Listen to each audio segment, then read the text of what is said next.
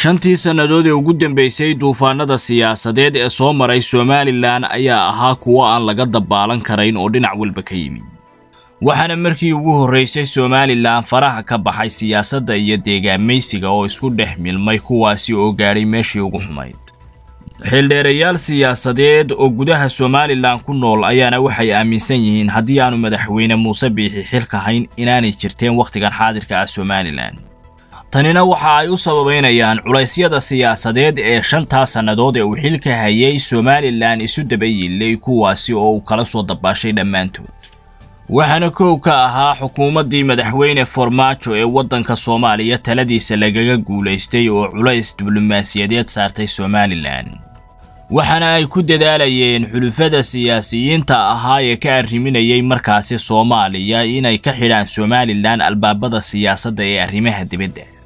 taasi oo u suurto geli weyday markii dambe dadaallo diblomaasiyadeed oo ay bixisay xukuumadda somalilan ayaana midho dhalay. Intii somalilan ay madax bannaanideeda la soo noqotayna waxa ay ahayd xukuumaddii koowaad ee ka dhalata soomaaliya taasi oo aan waxba xiirinayn jabhado ka bilaabmay bariga somalilan ayaa iyaguna qayb ka ahaa caqabadihii culayska lahaa ee la soo gudboonaaday xukuumadda madaxweyne muuse biixi cabdi kuwaasi oo salka ku hayay mucaaradad iyo deegaamaysi wakhtigaasi somalilan xadhkaha goostay ilaa iyo haddana jira. Waxaana si weyn isugu dhex milmay siyaasadda iyo qabyaaladda ah ilaa iyo xilliga ah oo la kala saari kari laayahay jabhaddii uu hogaaminayay jenaraal caare ah ayaa ugu dambayntii wadahadal lagu dhammeeyey in muddo ana waxa ay ku sugnayd maamul goboleedka puntland iyo bariga gobolka sanaag intaasi kadib waxaa bilaabmay muran iyo ismaandhaaf aad loogu kala fog yahay kaasi oo u dhexeeyey xusbiyada somalilan ka jira ee saddexda. Kuwaasi oo doorashooyinka ku heshiin la'aatan soo horreynaysa madaxtooyada iyo doorashada ururada oo labaduba loo baahan yahay in somalilan laga qabto. Arrintaasi oo soo jiitamaysay labadii sannadood ee ugu dambaysay ayaa waxa ay keentay deegaamada qaar inay ka baxaan mucaaradada oo ay somalilanba ka soo horjeestaan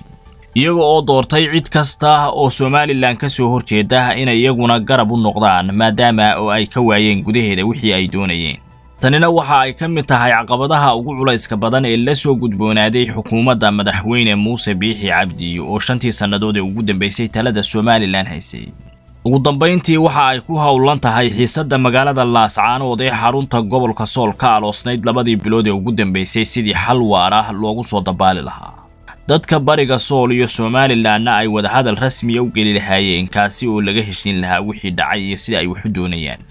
Iyadoo oo wakhtigan xaadirka ah si weyn loogu baahan yahay midnimada iyo wadajirka somalilan ayaa deegaamada qaar waxa ay qiimaynayaan mucaaradada iyo waxa ay doonayaan iyagu hase yeeshee wax walba wadajirka iyo iskuduubnida ayay ku qurux badan yihiin in lagu helo sababahan aynu ka soo sheekaynay ayaana madaxweyne muuse biixi cabdi ka dhigaya madaxweynihii ugu samata bixinta badnaa ee somalilan soo mara. Ka farxi ehelkaaga asxaabtaada iyo qaraabadaada. Oo la soo deg abka dahabshiil si aad si fudud lacag ugu dirto. Marka aad la soo degto ablicathonka dahabshiil ee aad lacag ka dirayso isticmaal koorka khadmad la'aanta ee tree oo kuu sahlaya in saddexda jeer ee ugu horreeya ee aad lacag dirayso aan wax khadmad ah lagaa qaadin. Dahabshiil howlfudaydiyahaaga maaliyadeed